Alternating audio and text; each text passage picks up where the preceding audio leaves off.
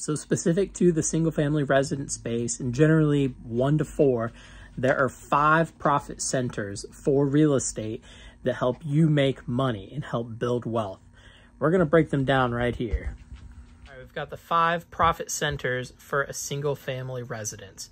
We have appreciation, cash flow, debt paydown, depreciation, and inflation protection.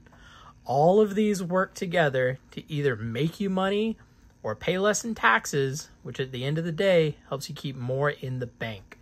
I'm going to go go through each of these items.